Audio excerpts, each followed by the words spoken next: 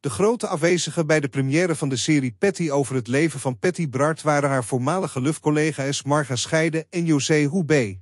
Volgens Marga is er echter niets van waar dat ze waren uitgenodigd.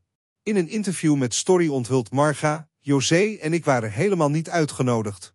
Na uitspraken van Patty op televisie dat ze waren uitgenodigd, ontvingen ze weliswaar een uitnodiging. Echter, op de dag van de première vierde Marga haar 70ste verjaardag, wat haar aanwezigheid onmogelijk maakte. Over haar afwezigheid zegt Maria, was ik anders wel gegaan? Geen idee, ik heb daar eigenlijk nog geen seconde over nagedacht. Ze heeft nog niet naar de serie gekeken en lijkt er weinig interesse in te hebben.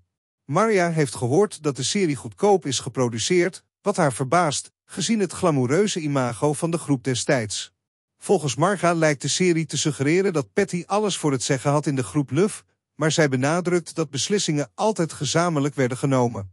José heeft de serie wel gezien, maar het boeide haar totaal niet, en ze heeft geen plannen om verder te kijken. Patty zelf vond het emotioneel om haar eigen serie terug te zien en beschouwde het als een eer. Ze deelde dat er enkele confronterende momenten waren waarbij zowel zij als haar dochter Pris een traantje wegpinkte. Patty benadrukte het belang van het delen van haar levensverhaal om anderen de mogelijkheid te geven het te relativeren.